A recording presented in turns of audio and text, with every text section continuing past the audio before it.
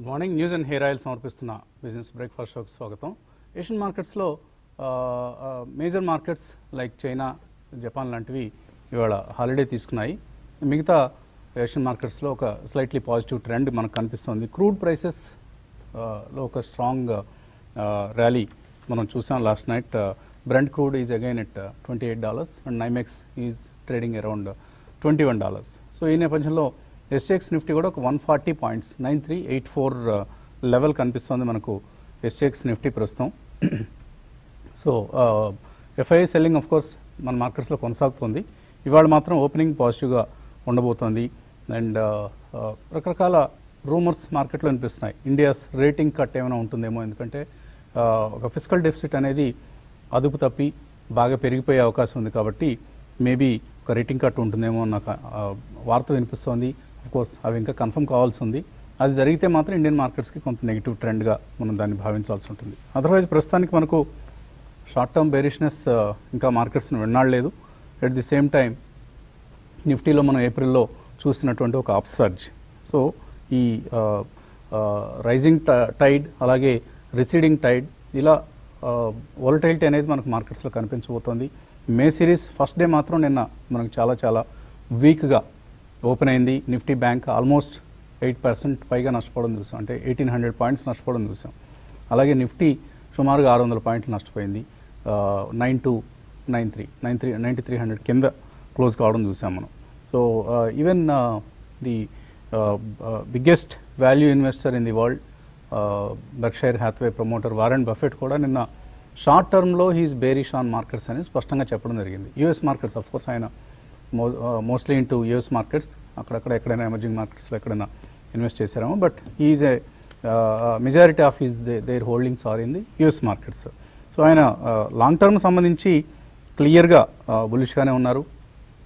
ఈ Covid nineteen అనేది nineteen ఎయిటీన్లో మనం చూసిన స్పానిష్ ఫ్లూ కంటే తక్కువ పాండమిక్కే కానీ షార్ట్ టర్మ్లో మాత్రం దీని ఇంపాక్ట్ చాలా ఉంటుందని. అలాగే యుఎస్ భవిష్యత్తుకు సంబంధించి ఎటువంటి ఢోకా లేదు. లాంగ్ టర్మ్ ఫ్యూచర్కి సంబంధించి. కాకపోతే షార్ట్ టర్మ్లో the economy has to suffer అనేది ఆయన చెప్పిన అంశం. అలాగే ఆయనకున్న ఈ బిగ్ ఫోర్ ఎయిర్లైన్ స్టాక్స్లోంచి ఆయన బోయింగ్ తదితర ఎయిర్లైన్ స్టాక్స్లోంచి ఆయన కంప్లీట్గా బయటకు వచ్చేసానంటూ అనౌన్స్ చేశారు. సో ట్రావెల్ ఇండస్ట్రీ మీద ఆయనకి ఎంతమాత్రం షార్ట్ టర్మ్లో or even in the medium టర్మ్లో హోప్స్ లేవనేది దాన్ని బట్టి స్పష్టంగా అర్థమవుతుంది. ఎందుకంటే there is lot of uncertainty అసలు ఏం జరుగుతోంది? ఎలా ప్రపంచం ఈ పాండమిక్ తర్వాతి కాలంలో ఎటువంటి సర్దుబాటుకు లోనవుతుంది అనే అంశంపై ఎవ్వరికీ ఒక అవగాహన లేదు. God only knows. సో అటువంటి సమయాల్లో ఇటువంటి అన్సర్టెంటీని వారెన్ బఫెట్ లాంటి వాళ్ళు ఇష్టపడరు. కాబట్టి ఆయన ఎయిర్లైన్ స్టాక్స్లోంచి బయటకు రావడం అనేది పెద్దగా ఆశ్చర్యపడే పడే అంశమేమి కాదు. ఒకప్పుడు ఆయన చాలా బుల్లిష్గా ఉన్నారు ఎయిర్లైన్ స్టాక్స్లో. సో ఎప్పటికప్పుడు ట్రెండ్స్కి అనుగుణంగా మనం మారుతూ ఉండాలి. సో ప్రతిసారి నేను ఒక సెక్టర్ పట్ల బులిష్గానే ఉంటాను. లేకపోతే ప్రతిసారి ఇక నాకు అసలు ఈ సెక్టర్ అంటేనే పడదండి.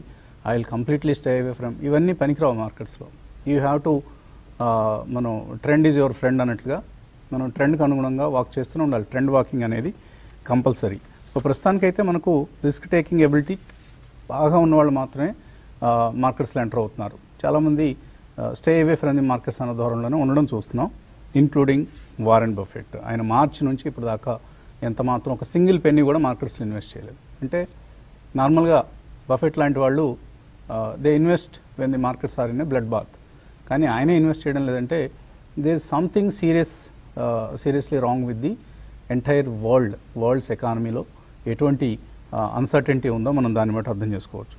అఫ్ కోర్స్ కాంట్రాబెట్గా మనం ఇన్వెస్ట్ చేస్తామంటే we have to be very choosy in selecting sectors as well as stocks so సెక్టర్ల ఎంపికలో స్టాక్స్ ఎంపికలో కూడా చాలా జాగ్రత్తలు తీసుకోగలిగితే డెఫినెట్లీ యూ కెన్ ఇన్వెస్ట్ అందులో ఎటువంటి సందేహం లేదు. వారన్ బఫెట్ లాంటి వాళ్ళ దగ్గర పెద్ద లంప్ సమ్స్ ఉంటాయి. అంటే బిలియన్ల కొద్ది డాలర్ల అసెట్స్ ఉన్నాయి కాబట్టి వాళ్ళు ఫాలో అయింది మనం ఫాలో కావాలని రూల్ ఏం లేదు.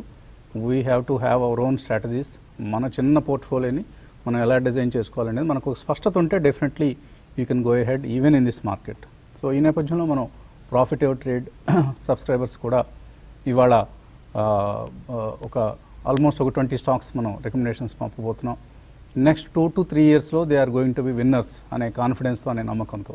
సో ఎవరైనా సబ్స్క్రైబర్స్ ప్రాఫిట్ ట్రేడ్ డాట్ ఇన్లో సబ్స్క్రైబర్స్ ఎవరైతే ఉన్నారో వాళ్ళందరికీ ఇవి అంతాయి ఇవాళ కొత్తగా ఎవరైనా తీసుకున్నా కూడా వాళ్ళకు కూడా ఇక్కడ నుంచి అన్ని రికమెండేషన్స్ని మనం మన అనలిస్ట్ సజెస్ట్ చేస్తున్న రికమెండేషన్స్ని పంపబోతున్నాం. So try to avail this opportunity పూర్తి వివరాలు WWW dot profit your trade dot in ఈ వెబ్సైట్లో ఉంటాయి. అండ్ ఇప్పుడే అంటున్నట్లుగా స్ట్రాటజీ అనేది ఒకటి రూపొందించుకోవాలి. ఫర్ ఇన్స్టెన్స్ ఈ మధ్య మనం బాగా పెరిగిన స్టాక్స్ అందరికీ తెలిసిందే. లాస్ట్ సే త్రీ మంత్స్లో పెరిగిన స్టాక్స్ చూద్దాం. అంతకుముందు పెరిగినవి వదిలేద్దాం. సో లాస్ట్ త్రీ మంత్స్లో ఏం పెరిగాయి మనకు? ఎఫ్ఎంసీజీ పెరిగాయి. ఈవెన్ మార్చ్ లోస్ నుంచి కూడా. అలాగే ఫార్మా షేర్లు పెరిగాయి. అలాగే టెలికాం షేర్స్ పెరిగాయి. ఇవి మనకు ప్రధానంగా పెరిగిన షేర్ల జాబితాలో ఉన్నవి. సో ఇంకా అదర్ షేర్స్ చాలా పెరిగాయి మిడ్ స్మాల్ క్యాప్స్లో. బట్ ప్రధానంగా సెక్టర్స్ వైజ్ చూస్తే ఈ మూడు sectors FMCG pharma and telecom stocks మనకు ఒక స్ట్రాంగ్ ర్యాలీ చూసాం. ఫర్ ఇన్స్టాన్స్ హెచ్యుఎల్ చూస్తే మనకు March fifty two week close నుంచి చూద్దాం. ట్వంటీ ఫైవ్ పర్సెంట్ పెరిగింది. ఐటీసీ ట్వంటీ నైన్ పర్సెంట్ పెరిగింది. Dabur thirty one percent Nestle seventy five percent పెరిగింది. సో ఇంత పెరిగిన తర్వాత అండ్ పీఈ రేషియోస్ ఒకసారి చూస్తే మనం Hindustan Unilever PE FY twenty one PE అంటే మనకు current year PE estimated PE నిష్పత్తి ఒకసారి చూస్తే హిందుస్థాన్ యూనిలివర్కి ఫిఫ్టీ ఫైవ్ పిఈ కనిపిస్తుంది మార్కెట్లో. ఐటీసీ సెవెంటీన్ పిఈ దగ్గరే. ఎందుకంటే ఐటీసీ పెద్దగా పార్టిసిపేట్ చేయలేదు ఈ ర్యాలీలో. డాబర్ ఫార్టీ సెవెన్ పిఈ దగ్గర ట్రేడ్ అవుతుంది. అలాగే నెస్లే ఎయిటీ పీఈ ఈ లెవెల్ దగ్గర కూడా కొంతమంది నెస్లేని కొనేవాళ్ళు ఉంటారు. వాళ్ళ అంచనాలు వేరు. Maybe they have a very rosy picture painted for Nestle కానీ మనం ఫిఫ్త్ ఫైవ్ ఇయర్ యావరేజ్ పీఈతో ఒకసారి కంపేర్ చేసి చూస్తే నెస్లేకి ఫార్టీ నైన్ పీఈ ఉంది. ఫైవ్ ఇయర్ యావరేజ్ పీఈ ఇవాళ మనకు మార్కెట్స్లో FY twenty one PE eighty దగ్గర ట్రేడ్ అవుతుంది. కాబట్టి హ్యూజ్ ప్రీమియంతో మనం ట్రేడ్ అవుతుంది కాబట్టి అవాయిడ్ సచ్ స్టాక్స్ అలాగే Hindustan Unilever almost five year పీఈకి కొంచెం పైన ట్రేడ్ అవుతుంది. Forty six is five year average PE for HUL మార్కెట్లో ఫిఫ్టీ ఫైవ్ దగ్గర మనకు ట్రేడ్ అవుతుంది. అండ్ లాస్ట్ క్వార్టర్ రిజల్ట్ కొంచెం నెగిటివ్గా రావడం కూడా హెచ్ఎల్ స్టాక్ మీద నెగిటివ్గా చూ నెగిటివ్ ప్రభావం చూపించే అంశం కాబట్టి ప్రస్తుతానికి ఎఫ్ఎంసీజీని కొద్దిగా వెనక్కి నెట్టి ఫార్మా అగైన్ ఇప్పటికి కూడా ఇంత ర్యాలీ తర్వాత కూడా మనం ఒక ఒక స్ట్రాంగ్ బెట్గా ఫార్మాని ట్రీట్ చేయొచ్చు. అలాగే ఇటువంటి సమయాల్లో మనం డివిడెండ్స్ అండ్ బైబ్యాక్ మీద ఒకవేళ పిఎస్యు స్టాక్స్ స్టాక్స్ కనుక పిఎస్యు కంపెనీస్ కనుక దృష్టి పెట్టే స్టాక్స్ ఏమైనా ఉంటే డెఫినెట్లీ కాంట్రాబెట్ కింద you can buy PSC stocks. అటువంటివి మనం ఒకటి రెండు స్టాక్స్ని మనం ఇవాళ ప్రాఫిట్ ట్రేడ్ రికమెండేషన్స్లో పొందుపరచడం కూడా జరిగింది. అలాగే telecom టెలికాంలో there is still some potential definitely Reliance Jio కావచ్చు అంటే ఆఫ్ కోర్స్ రిలయన్స్ జియో సెపరేట్గా లిస్టెడ్ కాదు రిలయన్స్లోనే అదొక పార్ట్ అలాగే భారతీయ ఎయిర్టెల్ డెఫినెట్లీ ఈ రెండు స్టాక్స్ని అలాగే డార్క్ హార్స్ కింద మనం ఈవెన్ వోడాఫోన్ ఐడియాని కూడా మనం you can even buy at these levels but all said and done. Cheaper valuations cheaper stocks అనుకున్నప్పుడే మనం ఎంటర్ కావాలి. వాల్యూ ఉందా లేదా అనేది అసెస్ చేసుకోవాలి. దెన్ ఓన్లీ మనం ప్రత్యేకించి మిడ్ స్మాల్ క్యాప్స్లో అయితే చాలా కేర్ఫుల్గా ఉండాలి. సో ఇటువంటి అంశాలు బేరీజ్ వేసుకుని మనం కనుక ఇన్వెస్ట్ చేస్తే next two two to three ఇయర్స్లో యావరేజ్ నా ఫిఫ్టీన్ ఎంత మాత్రం కష్టం కాదు. కోవిడ్ ఇవన్నీ ఆరు నెలల తర్వాత సంవత్సరం తర్వాత మనం మర్చిపోతాం. మళ్ళీ సాధారణ జీవనం నెలకొంటుంది. అప్పటికి తెలివైన ఇన్వెస్టర్లు ఆల్రెడీ ఇన్వెస్ట్ చేసి మార్కెట్లు పెరిగి ఉంటాయి సే ఇప్పుడు మనం నైన్ థౌసండ్ త్రీ హండ్రెడ్ దగ్గర ఉన్నాం. ఇక్కడ నుంచి ట్వెల్వ్ థౌసండ్కి వెళ్ళటం అనేది మేము నెక్స్ట్ టూ ఇయర్స్లో సాధ్యమా కాదా? డెఫినెట్లీ సాధ్యం. కాబట్టి నెక్స్ట్ టూ ఇయర్స్ పర్స్పెక్టివ్ కనుక ఎవరికైనా ఉంటే మళ్ళీ మనం ఇంతకుముందు చూసిన ట్వెల్వ్ థౌజండ్ లెవెల్స్ రావటం అనేది పెద్ద అసాధ్యం కాదు కాబట్టి be selective be careful and happy investing. మన ఎనలిస్ట్ ఏమంటున్నారు అడిగి తెలుసుకుందాం. గుడ్ మార్నింగ్ కుటుంబరావు గారు. వస్తుంది సో మనం నిన్నటి వారెన్ బఫెట్ స్టేట్మెంట్స్ చూసాం. వాళ్ళ షే- షేర్ హోల్డర్స్కి ఇచ్చిన మెసేజ్ గమనించాం మనం. అలాగే వరల్డ్ ఓవర్ జరుగుతున్న పరిణామాలు చూస్తున్నాం. అండి నిన్న మీరు చక్కటి బెట్ ఒకటి మీరు క్రూడ్ ఆయిల్ ఇన్వెస్టర్స్కి ఇచ్చారు. పెరుగుతుంది అని అది నిన్నే వర్కౌట్ అయిపోయింది. కాబట్టి ఏంటి ఎటువంటి సినారియోని మీరు గమనిస్తున్నారు ప్రస్తుతం? అంటే ఒక్కటండి ఏప్రిల్ పదకొండు సంవత్సరాల్లో one of the best year best week April ఉండింది కాబట్టి ఏప్రిల్ తర్వాత మనం చూస్తే గనక నేను అనుకోవటం మే కాస్త అండర్ పెర్ఫార్మెన్స్ కావచ్చు మార్కెట్ అన్నమాట. గ్లోబల్ మార్కెట్స్ అన్ని కూడా మనం చూస్తే risk off and underperformance బాగా పెరిగింది మేలో కాబట్టి అనమాట ఫ్రెష్ పొజిషన్స్ మాత్రం అంత అడ్వైజబుల్ కాదండి ఎక్సెప్ట్ స్టాక్ స్పెసిఫిక్ వ్యూ తీసుకోమంటాను. ఇది రిజల్ట్స్ని బట్టి ఓవరాల్గా సెక్టార్ సినారియోని బట్టి లైక్ నిన్న చూసాం వివిధ రాష్ట్రాల్లో లిక్కర్ షాప్స్ ఓపెన్ చేస్తున్నాయి అనగానే నిన్న లిక్కర్ స్టాక్స్ అన్ని కూడా పెరగటం చూసాం. Anywhere from three percent to fifteen percent వరకు పెరిగినాయి. ఈపీ దగ్గర నుంచి రాడికో కైతాన్ కానీ ఇటు గ్లోబల్ స్పిరిట్స్ కానీ అన్ని కూడా మనం చూస్తే. బట్ ట్రెండ్ కంటిన్యూ అవుతుందా అంటే డౌట్ఫుల్. ఎందుకంటే మళ్ళీ ఈడైతే నిన్న నెగిటివ్ పబ్లిసిటీ వచ్చిందో దాంతో మళ్ళీ తొందరగా లిక్కర్ సేల్స్ క్లోజ్ చేయండి. కరోనా పెరుగుతోంది అంటే కనుక ఇమీడియట్గా ఇన్వెంటరీ పెరిగిపోయి స్టాక్స్ అన్ని ఆగిపోయి స్టాక్స్ కూడా పడే పాసిబిలిటీ ఉంటుంది. కాబట్టి ఎప్పటికప్పుడు డైనమిక్గా ఉంటుంది సిచ్యువేషన్ డైనమిక్గా ఉన్నప్పుడు అనమాట మార్కెట్లో ఎజైల్గా ఉండాలి ఎజైల్గా ఉండి మార్పులు చేర్పులు చేసుకుంటూ ఉండాలి పోర్ట్ఫోలియో వన్ సెక్టర్ సేఫ్టీ కనిపిస్తోంది పోస్ట్ ఫేస్బుక్ డీల్ తర్వాత కూడా అనమాట రిలయన్స్ తోటి ఈ టెలికాం సెక్టర్ ఎందుకంటే ఓవరాల్గా టెలికాం సెక్టర్లో డెఫినెట్లీ ఇప్పుడున్న సినారియోని బట్టి చూస్తా ఉంటే డేటా సర్వీసెస్లో ఇంకా హ్యూజ్ పొజిషన్ ఎందుకంటే ఇండియాలో దాదాపు sixty percent still under penetration ఉంది ఇది డేటా సర్వీసెస్లో. కాబట్టి ఇప్పుడు ఏదైతే ఈ లాక్డౌన్ టైం అప్పుడు డేటా ఇంపార్టెన్స్ ఎంతో పబ్లిక్ రియలైజ్ చేసి మోర్ అండ్ మోర్ ఈ సర్వీసెస్ వాడటం మొదలు పెడతారు. యావరేజ్ రెవెన్యూ పర్ యూజర్ కూడా పెరుగుతుందో. ఏఆర్పిఓ అనమాట దీంతో నేను అనుకోవటం టెలికాం కంపెనీస్ షుడ్ బి బెటర్గా అనమాట కాబట్టి భారతీ అండ్ వోడాఫోన్ కూడా రెండు కూడా కొనమని చెప్పేసి చెప్తాను. ఎవ్రీ డిక్లైన్లో అనమాట two stocks can outperform in general మిగతా చూస్తా ఉంటే డెట్ రీస్ట్రక్చరింగ్ కూడా అగ్రెసివ్గా మొదలు పెడుతున్నాయి. ఆర్ఓని ఎగ్జాంపుల్గా తీసుకునే తిరుమల కూడా డెట్ తగ్గిస్తుంది. ట్వంటీ పర్సెంట్ స్టేక్ కేకేఆర్ అమ్ముతాను అంటున్నారు. ఇట్లా ఇంకా మిగతా companies GMR also is uh, ఏదైతే వాళ్ళ ఎయిర్పోర్ట్స్ డివిజన్లో స్టేక్ అమ్మిందో అదే ఇంకా మిగతా వేరే డివిజన్లో కూడా రీస్ట్రక్చర్ చేస్తామని చెప్తున్నారు. కాబట్టి కీన్గా వాచ్ చేయమంట ఏ కంపెనీస్ డెట్ ఫ్రీ దిశగా వెళ్తాయో by twenty one March they will be the outperforming companies in the second half of this year once lockdown తీసేసిన తర్వాత ఎకానమీ ఆన్ రేల్స్ ఉంటాయి అయితే వన్ కన్సర్న్ ఏమొస్తుందంటే జనరల్లీ ఫీడ్బ్యాక్ అనమాట అండర్ కరెంట్ లాక్డౌన్ జూలై ఇది June first వరకు extend అవుతుంది. Seventeenth తోటి అవ్వదు. ఈ జోన్ సిస్టమ్ తోటి రెడ్ ఆరెంజ్ గ్రీన్ గానే పెట్టారన్నమాట అప్ టు జూన్ ఫస్ట్ వరకు అని అంటున్నారు. కాబట్టి సిగ్నిఫికెంట్ ఇంప్రూవ్మెంట్ మ్యానుఫ్యాక్చరింగ్ యాక్టివిటీలో ఉంటుందా అంటే డౌట్ఫుల్ ఎందుకంటే నిన్న పిఎంఐ డేటా చూసాం. లోయెస్ట్ స్టవర్ వచ్చింది. దాదాపు ట్వంటీ సెవెన్ పాయింట్ టూ అనమాట జనవరిలో ఫిఫ్టీ ఫైవ్ పాయింట్ ఫోర్ ఎంతో. దాదాపు ఎయిట్ ఇయర్ హైక్ వచ్చింది కూడా. ఆల్ ఆల్ టుగెదర్ క్రాష్ అయిపోయింది. ఎందుకంటే మ్యానుఫ్యాక్చరింగ్ యాక్టివిటీ అంతా స్టాండ్ స్టీల్కి వచ్చింది కాబట్టి. కాబట్టి అన్ని మల్టిపుల్ ఇష్యూస్ ప్లే చేస్తున్నాయి. ఇన్వెస్టర్స్ అలర్ట్గా ఉండమంటాను. లైక్ మీరు చెప్పినట్టు పోర్ట్ఫోలియో ఎప్పటికప్పుడు చెక్ చేసుకుంటా ఉండాలి. ఎక్స్ట్రీమ్ లాంగ్ టర్మ్ వ్యూ కూడా తీసుకోవద్దు అంటాను. ఎందుకంటే డైనమిక్గా సెక్టర్ టు సెక్టర్ రొటేషన్ అవుతా ఉంటుంది. మార్పులు చేర్పులు చేసుకోవాల్సి వస్తుంది. Be prepared for fifteen to twenty percent returns కూడా అనమాట అంతేగాని ఏ ఫిఫ్టీ పర్సెంట్ వస్తుంది నేను అమ్ముతాను అని చెప్పేసి చూడకుండా కూడా ఫిఫ్టీన్ ట్వంటీ పర్సెంట్ రిటర్న్స్కి ప్రిపేర్ అయ్యి కూడా ఇన్వెస్టర్స్ని పొజిషనల్ ట్రేడింగ్ చేసుకోమని చెప్పేసి సజెస్ట్ చేస్తాను.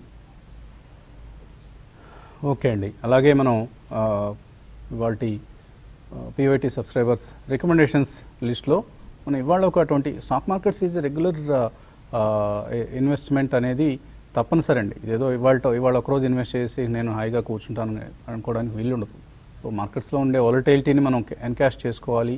మనం ఈ పరిస్థితుల్ని ఎప్పటికప్పుడు మారే పరిస్థితుల్ని మనకు అనుగుణంగా మార్చుకోవాలి అంటే తప్పనిసరిగా కంటిన్యూస్ ఇన్వెస్ట్మెంట్ అనేది తప్పనిసరి. అదే ఎస్ఐపీలు కావచ్చు లంసమ్స్ కావచ్చు ఎస్టీపీలు కావచ్చు whatever it is whatever is the mode of investment ఎప్పటికప్పుడు మనం ఇన్వెస్ట్ చేస్తూనే ఉండాలి. ఇన్వెస్ట్ పోర్ట్ఫోలియోస్ని రీస్ట్రక్చర్ చేసుకోవాలి రివ్యూ చేసుకోవాలి ప్రాఫిట్ బుకింగ్ చేసుకోవాలి. మార్కెట్స్ బాగా పడిపోతాయని మనం ఊహించినప్పుడు అమ్మేసుకుంటూ ఉండాలి. ఇలా రకరకాల యాక్షన్స్ అనేది ఎప్పటికప్పుడు చేస్తూ ఉండాలి. అఫ్కోర్స్ మరి fifteen twenty years wealth creation view ఉన్నవాళ్ళు కూడా ఈ ప్రక్రియలన్నీ చేస్తూ ఉండాలి. అది చెప్పొచ్చేది. కాబట్టి మళ్ళీ మనం టెన్ ఫిఫ్టీన్ డేస్ తర్వాత లేకపోతే వన్ మంత్ తర్వాత మళ్ళీ మనం ఒకసారి రివ్యూ చేసుకుందాం. మళ్ళీ మనం పిఓటీ సబ్స్క్రైబర్స్కి రికమెండేషన్స్ అందించే ప్రయత్నం నిరంతరం కొనసాగుతూనే ఉంటుంది. సో చిన్న బ్రేక్ తీసుకుందాం బ్రేక్ తర్వాత రాజేంద్ర గారు బాలాగారే ఉంటున్నారు. చూద్దాం.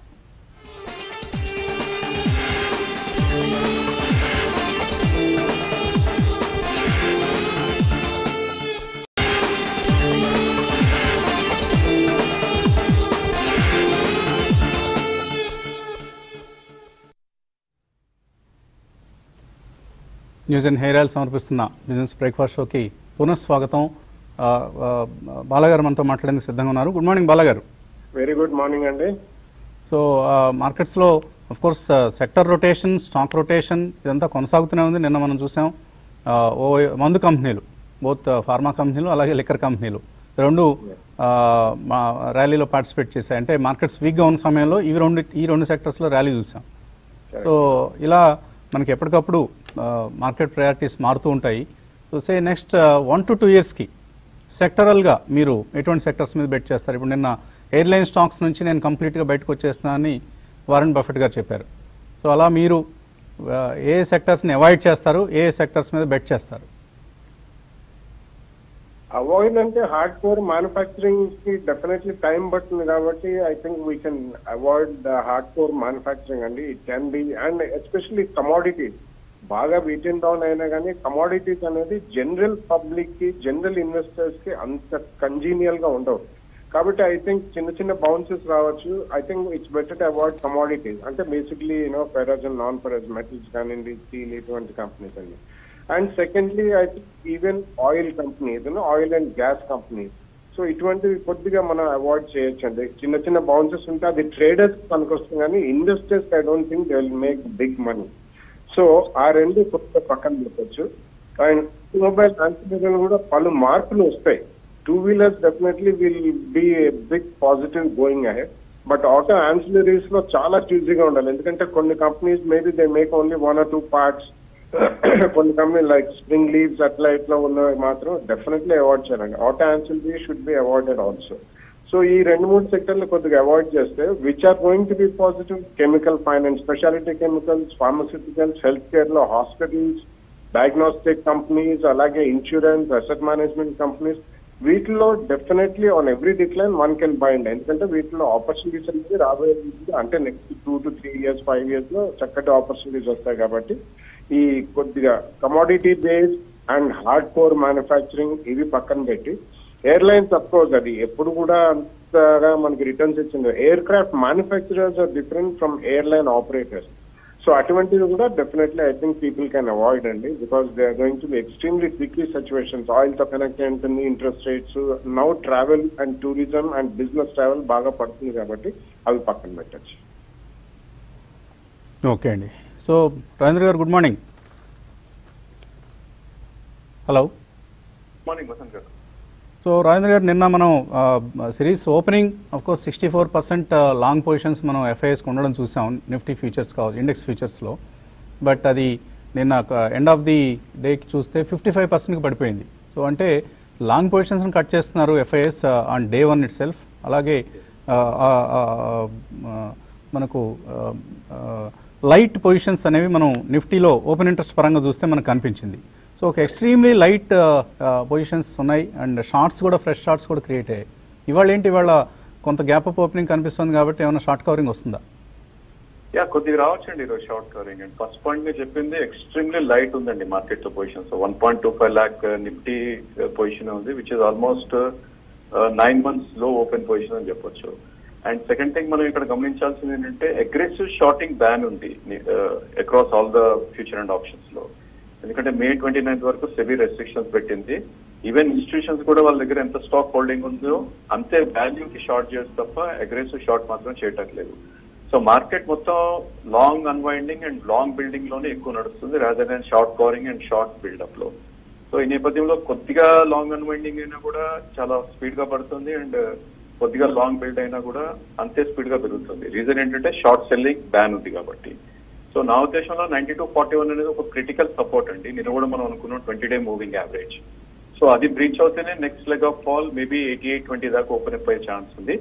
అదర్వైజ్ uh, నిన్నటి గ్యాప్ డౌన్ ఏదైతే ఉందో నైన్ సెవెన్ త్రీ వన్ నుంచి nine five three three so almost ఆ టూ హండ్రెడ్ పాయింట్స్ గ్యాప్ ఏదైతే ఉందో అది ఫిల్ చేసే ప్రయత్నం చేస్తుంది. ఎందుకంటే థర్స్డే కూడా అగైన్ మనకి వీక్లీ ఎక్స్పైరీ ఉంది కాబట్టి. సో ఆల్ ఇన్ ఆల్ నా ఉద్దేశంలో నైన్టీ టూ ఫార్టీ నుంచి నైన్టీ సెవెన్ థర్టీ దాకా uh, రేంజ్ ఉండే ఛాన్స్ ఉంది నెక్స్ట్ టూ ఆర్ త్రీ డేస్లో. సిమిలర్లీ బ్యాంక్ నిఫ్టీ చూస్తే కనుక హ్యూజ్ గ్యాప్ డౌన్ రావడం చూసాం మనకి. సో నిన్నటి గ్యాప్ ఫిల్ చేయాలి అంటే కనుక అది twenty one thousand three fifty three దాకా వెళ్ళాలి. అంటే close to about sixteen seventeen hundred points ఏదైతే నిన్న పడిందో అది మొత్తం రికవాలి I don't think it will happen immediately so నిన్న మనం కూడా చూసాం clearly money shifting in to financial space to pharma and telecom so నిన్న మనం నిఫ్టీ విన్నర్ చూస్తే కనుక it was only pharma and telecom and loser చూస్తే కనుక మెజారిటీ అఫ్ కోర్స్ కొద్దిగా ఆటో అండ్ మెటల్స్ ఉన్నప్పటికీ majority losers were financial space so financial space నుంచి money క్లియర్గా మూవ్ అవటం చూస్తున్నాం మనం. సో ఏమాత్రం పుల్ బ్యాక్స్ వచ్చినా కూడా ఇమీడియట్ సెల్లింగ్ రావటం చూస్తున్నాం. ఆ స్పేస్ని కంప్లీట్లీ అవాయిడ్ చేయాలి. అండ్ నా ఉద్దేశంలో ఐ థింక్ స్పెషాలిటీ కెమికల్స్ ఏవైతే ఉన్నాయో ఆ స్టాక్స్ని వన్ షుడ్ ఫోకస్ అని నా ఉద్దేశం. రీజన్ ఏంటి అంటే కనుక కొన్ని స్టాక్స్ ఏవైతే ఉన్నాయో ఆల్ టైమ్ హై కూడా బ్రీచ్ అవడం చూసాం విచ్ ఇస్ ఆర్తి ఇండస్ట్రీస్ కానీ నవీన్ ఫ్లోరింగ్ కానీ ఇలాంటి stocks so going forward next leadership next bull market recovery వచ్చినప్పుడు I think pharma and speciality chemicals will be the winner so డెఫినెట్గా ఆర్తి ఇండస్ట్రీస్ కానీ దీపక్ నెట్రేట్ కానీ నవీన్ ఫ్లోరో కానీ ఇలాంటి stocks maybe ten fifteen or twenty percent కరెక్షన్లో two three price పాయింట్స్లో accumulate చేయాలి. So avoid real estate companies as of now ఎందుకంటే real estate demand pickup కావడానికి చాలా టైం పట్టే అవకాశం ఉంది. మనకు ఎన్ఆర్ఐ మనీ అనేది మనీ ఫ్లోస్ బాగా తగ్గాయి. డొమెస్టిక్ డిమాండ్ కూడా చాలా తక్కువగా ఉంటుంది కాబట్టి ప్రొవైడ్ రియల్ ఎస్టేట్ అండ్ ఇందాక మనం అనుకునే బాలగారు చెప్పిన కుటుంబరావు అన్నవి ఈ జాబితాలో ఉన్న సెక్టర్స్లోంచి మంచి స్టాక్స్ని మనం పీవీటీ సబ్స్క్రైబర్స్కి ఇవాళ రికమెండ్ చేయడం జరిగింది. అలాగే పులి మీద పుట్ర అంటాం సో ఏంటి అంటే రోజుకి నలభై ప్రత్యేక రైళ్ళు పెట్టి తెలంగాణలో ఉన్న వలస కార్మికులందరినీ తమ సొంత రాష్ట్రాలు పంపించేందుకు ముఖ్యమంత్రి కె. చంద్రశేఖరరావు ఏర్పాట్లు చేస్తున్నారు. రోజుకి నలభై చొప్పున ప్రత్యేక రైళ్ళు నడుపుతారట.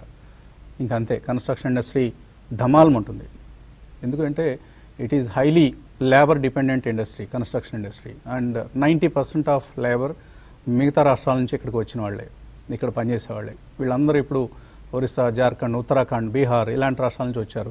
వీళ్ళందరూ ఇప్పుడు వెళ్ళిపోతే ఇక చేయగలిగింది ఏమీ ఉండదు. మనం కన్స్ట్రక్షన్ ఇండస్ట్రీ ఆల్మోస్ట్ స్టాండ్ స్టిల్కి వచ్చేస్తుంది.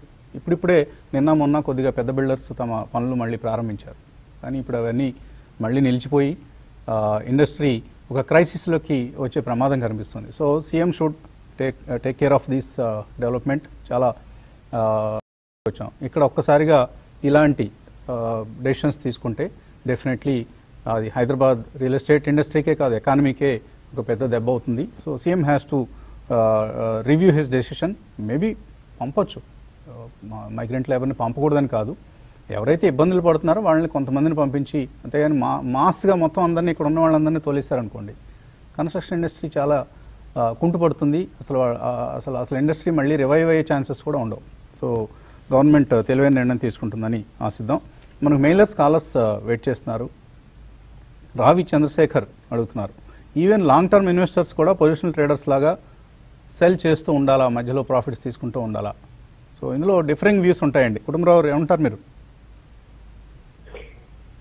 మనం రీసెంట్ ఈవెంట్స్ అన్ని కూడా అబ్జర్వ్ చేస్తానండి. What could happen in two to three years is happening in just two months అనమాట అదే విధంగా టూ మంత్స్లో జరిగే ఈవెంట్ కూడా జస్ట్ టూ వీక్స్లో అయిపోతుంది. కాబట్టి old time long term investment అనే వ్యూ పక్కన పెట్టేయమంటానండి. ఎందుకంటే కన్ఫర్మ్డ్గా చెప్తాను. ఎందుకంటే ఈ వొలటిలిటీ కానీ ఈ చేంజెస్ కానీ పోస్ట్ టూ థౌజండ్ ఎయిట్ తర్వాత ఏదైతే వచ్చిందో అది తిరిగి రిపీట్ అవుతా this will continue for another two to three years ఎందుకంటే post covid scenario will not be the same total behavioural changes ఉంటాయి ఇన్వెస్ట్మెంట్ ప్యాటర్న్స్ మారిపోతాయి. కంపెనీస్ వ్యూ చేసిన తీరు మారిపోతుంది. కాబట్టి ఇక్కడ నుంచి మాత్రం డెఫినెట్లీ పొజిషనల్ ట్రేడర్స్ కానీ ఎక్కువగా ఉండటం బెటర్ లాంగ్ టర్మ్ అంటే extreme blue chips like which have safety like a Hindustan Lever అవునండి లేకపోతే కన్జ్యూమర్ గూడ్స్ మన లైఫ్లో కంటిన్యూస్గా వాడే గూడ్స్ బ్రాండింగ్ ఉన్న గూడ్స్ అలాంటి మెస్లో కానీ ఆర్ జిలెట్ కానీ ఇలాంటి కంపెనీలు మాత్రం కొన్ని పోర్ట్ఫోలియోలో డివిడెండ్ రిటర్న్స్ ఈల్డ్ అన్ని కూడా చూసుకుని పెట్టుకోవాలి కానీ but otherwise I'm of the firm view that ఇక్కడ నుంచి ఇక పొజిషనల్ ట్రేడ్ మీ పొజిషనల్ ట్రేడ్ అంటే ఏదో వారానికి రెండు వారాలకి కాదండి. సెక్టార్ ఇది quarterly wise or half yearly wise అట్లా చూసుకోమని ఎవ్రీ క్వార్టర్ రివిజన్ చేసుకుంటా ఉంది ఓకే అండి. కాలర్స్ కూడా లైన్లో ఉన్నారు. మొదటి కాలర్ని తీసుకుందాం. Hello sir. యా మీ పేరండి వసంత గారు రామకృష్ణ రాజ్యపల్లి సార్. రామకృష్ణ అడగండి. సార్ మీ మీ ప్రోగ్రామ్ ఎప్పటి నుంచో చూస్తున్నాను సార్. మీకు ఒక విలు- విలువైన ఇన్ఫర్మేషన్ ఇవ్వాలనుకుంటున్నాను సార్. థ్యాంక్ యూ అండి. చెప్పండి. కరోనా గురించి సార్ ఈ ప్లాస్మా థెరపీ అంటే ఈ బిజినెస్ ఇలా మాట్లాడకూడదు. అని చెప్తున్నాను సార్. కరోనా గురించి చిన్న చెప్తా సార్. ఈ కరోనా వచ్చిన వాళ్ళకి సార్ కొంచెం బొప్పాయి ఆకు రసం ఇచ్చి కోలుకునే అవకాశం ఉంది సార్. మీకు Okay. ఎన్నిసార్లు నుంచో ఫోన్ చేస్తున్నాను సార్. బొప్పాయి ఆకు రసం కానీ కొంచెం ఇస్తే ఓకే వాళ్ళు కొంచెం ఓకే కోరి- కొంచెం పాత sure sure thank you thanks for the tip ఎవరికైనా ఈ- చిట్కాని ఉపయోగించుకోదలుచుకుంటే రామకృష్ణ గారు చెప్తున్న చిట్కా ఇది.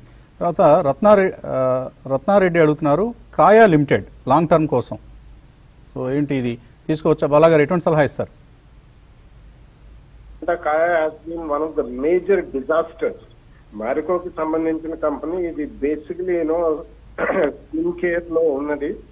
And it's service provider of course వాళ్ళు కొన్ని బ్రాండెడ్ ప్రొడక్ట్స్ కూడా మారికో వాళ్ళకి సంబంధించిన కంపెనీ అవి కూడా అమ్ముతారు. But I don't think they really proven themselves and especially ఈ మధ్య ఈ లాక్డౌన్లో ఏంటంటే వీళ్ళ గల్ఫ్లో కూడా చాలా పెద్ద ప్రెజెన్స్ ఉంది. ఇండియాలో కూడా కాయా క్లినిక్స్ అని ఉన్నాయి.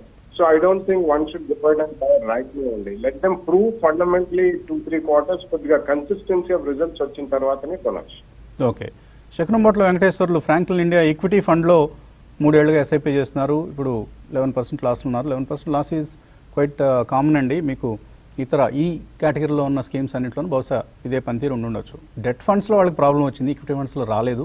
అలా అని చెప్పేసి ఇందులోనే ఉండడం అనేది అంత శ్రేయస్కరం కనపట్లేదు so better shift to a different fund house maybe Birla Sun లైఫ్లో అలాగే ఇంకా ఇతర మ్యూచువల్ ఫండ్ హౌసెస్లో ఉన్న బెటర్ స్కీమ్స్ని మీరు సెలెక్ట్ చేసుకోవచ్చు. అలాగే భవానీ శంకర్ అడుగుతున్నారు ఇప్కా ల్యాబ్స్ హోల్డ్ చేస్తున్నారట. అలాగే లారస్ ల్యాబ్స్లో ఎస్ఐపి చేద్దాం అనుకుంటున్నారు చేయొచ్చా? కుటుంబరావు గారు. రెండు కూడా చేయమంటానండి. ఇంకా హోల్డ్ చేయమంటాను. లారస్ ఎవ్రీ డిక్లైన్లో బై చేసి చేయమంటాను. SIP చేయమంటాను. Laurus can easily touch eight hundred to nine hundred rupees with in twelve to sixteen months so మంచి ఎంకరేజింగ్ రిజల్ట్ కూడా ఇవ్వడం చూసాం లాస్ట్ క్వార్టర్లో లారస్ ల్యాబ్స్. అండ్ లారస్కి నాట్కోకి సంబంధించి ఒక వార్త మనం కేర్ఫుల్గా గమనించాలి. ఈ గీలేటికి సంబంధించిన డ్రగ్ ఏదైతే పనిచేస్తుందని చెప్తున్నారు కోవిడ్ మీద పాజిటివ్గా పనిచేస్తుందని ట్రీట్మెంట్లో.